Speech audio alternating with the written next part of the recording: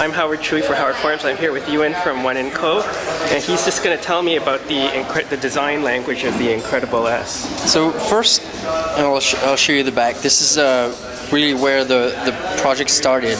The idea was to uh, reveal what's happening inside of the product, you know, all the, the care and uh, uh innovation that went into uh, developing the product itself. Um, then the, the main idea was to literally reveal what's inside on the outside of the product. So it's just like you have that thin coat of paint around the components. Um, ultimately, we have this this beautiful product that is has a um, machine aluminum housing. Um, in in this case, uh, the uh, um, diamond cut around around the display is really prominent. But we also have a version where uh, it's black on black. Really cool. Thank you.